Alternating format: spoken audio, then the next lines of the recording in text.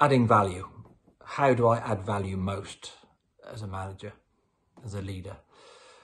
Well, it's easy to confuse hours spent working and miles spent driving and hours spent training or how many emails sent or how much time I spent on the telephone or all those things that are quantifiable. It's very easy to confuse those with adding value when actually the best way is to be available. Not, I'm not saying don't work. I'm not saying don't be at work, but it's to make sure that you're available for the five minutes where there's a decision to be made or there's something to be noticed.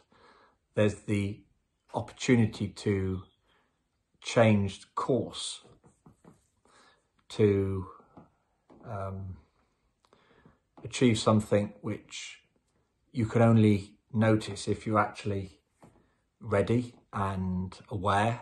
So the more you're knees deep in logistics and the practical side of your job, the harder it is to actually change course and spot the one thing which can create a quantum shift in productivity or environment. So um, I'd always talk about being ready for that five minutes.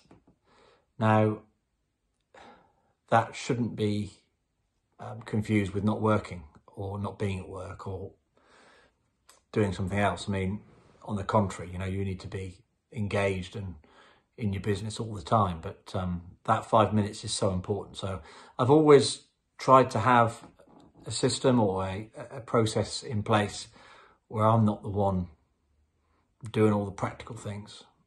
Um, that's not an excuse not to get my hands dirty, um, but it just means that I'm ready. I'm ready to notice what needs to be noticed.